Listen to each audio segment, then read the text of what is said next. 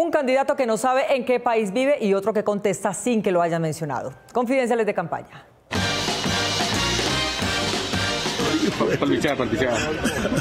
La campaña presidencial de habilidades intelectuales más bajas que se haya conocido en años es la que Colombia está viviendo en este 2022 para designar nuevo Congreso de la República y sucesor de Iván Duque en la presidencia, según han opinado varios columnistas de renombre.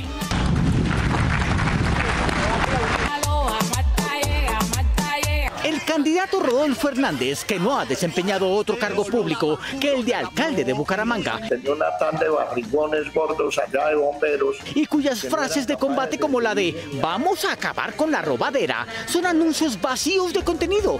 Parece confirmar que el nivel de la contienda por la presidencia es lamentable. Para el bichado, ¿eso qué? El departamento del bichada. ¿Y cuál es la Orinoquía. capital? ¿Pero cuál es la capital? Puerto Carreño. Ah, bueno, para Puerto Carreño, en el Bichada, un saludo muy especial. Solo en Colombia se puede presentar como aspirante a la presidencia del país un candidato que ni siquiera conoce su territorio, como para irse de espaldas. Entréguenle la chequera a Rodolfo Hernández.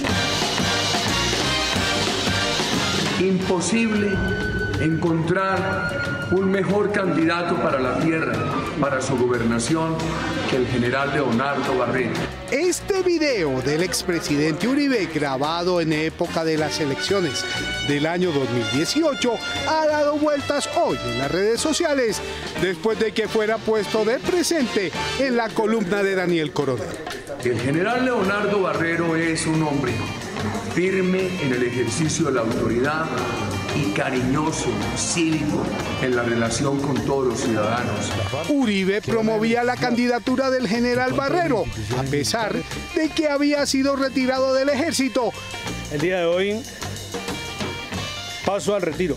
por una conversación que le grabaron en que afirmaba que había que armar una, comillas, mafia para enfrentar a los fiscales que investigaban los falsos positivos. Ayúdenos a sacar adelante al centro democrático. Uribe le dio la bala a Barrero para presentarse como candidato de su partido a la gobernación del Cauca. El apoyo del exmandatario es ahora cuestionado porque este militar fue señalado por alias Otoniel hace dos días de ser miembro integral del Clan del Golfo, una de las mayores bandas del narcotráfico.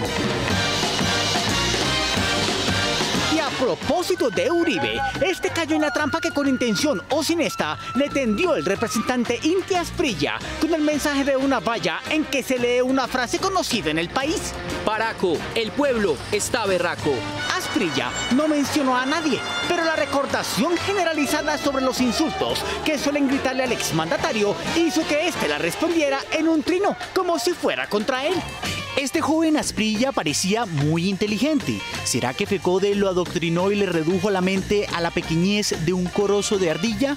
El expresidente, además, cometió otro error. Incluyó la foto de la valla de Asprilla en su trino, con lo cual le dio el alcance del mensaje a sus 5 millones de seguidores, que seguramente no lo habían leído. Por eso Asprilla hábilmente replicó, mostrando todas las imágenes de la discusión con una frase corta. Yo ni lo nombré y añadió emoticones muertos de la risa.